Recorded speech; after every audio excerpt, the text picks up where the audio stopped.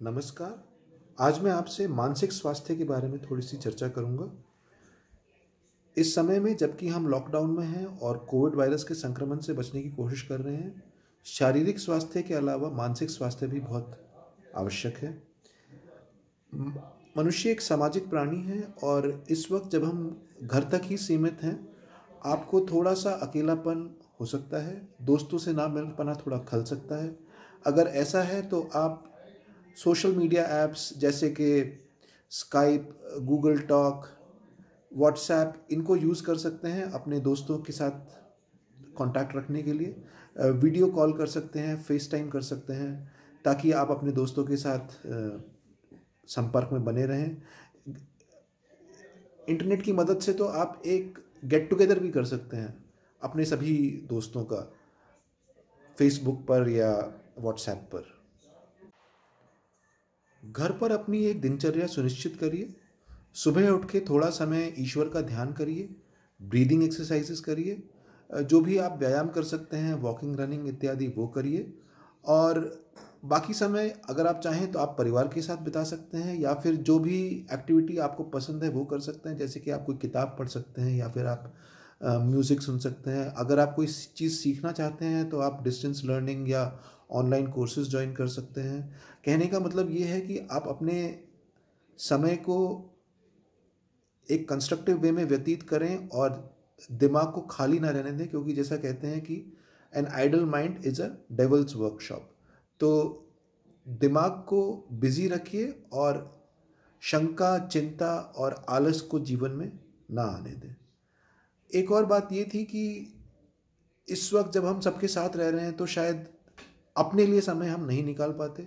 तो हर दिन दस पंद्रह मिनट किसी भी अपने घर में खुली जगह पर जैसे कि बालकनी में बैठ जाइए और मन को अपने फ्री छोड़ दीजिए, जो भी विचार आ रहे हैं कुछ अच्छा सोच कुछ कुछ पॉजिटिव थॉट्स अपने दिमाग में लाइए, ताकि आपका मन जो है थोड़ा सा रिलैक्स हो जाए।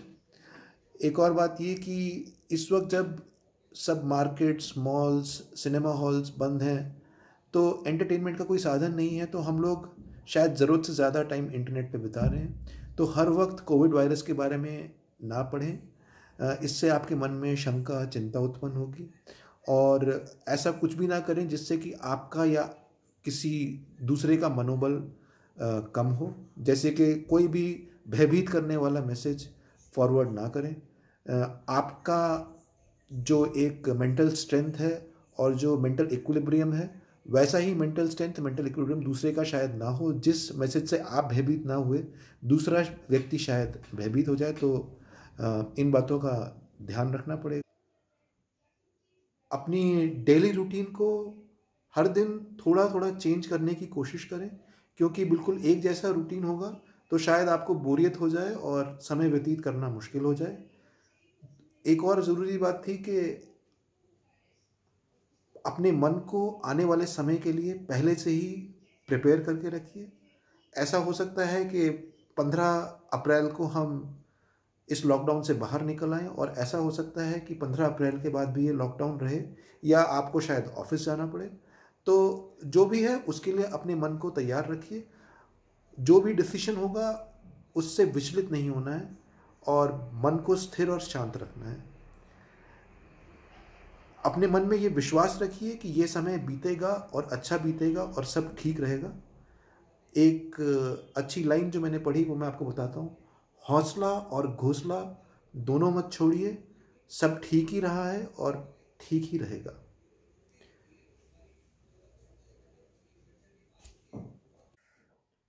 अंत में मैं आपसे ये कहना चाहता हूँ कि इन सब उपायों के बावजूद अगर आपको लगता है कि आपकी मानसिक स्थिति ठीक नहीं है तो फिर आप जो भी आपके नज़दीक के डॉक्टर हैं या साइकोलॉजिस्ट हैं या साइकेट्रिस्ट हैं, उनसे परामर्श करने में बिल्कुल ना हिचकें।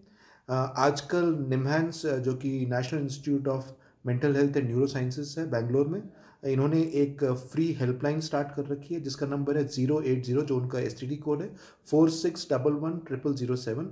इस नंबर पे आप कभी भी कॉल करके जो भी वहाँ पे एक्सपर्ट हैं उनसे बात कर सकते हैं और अपने मानसिक कष्ट का निवारण पा सकते हैं। तो ये था मेरा संदेश आज के लिए। धन्यवाद। स्वस्थ रहें, सुरक्षित रहें। जय हिंद।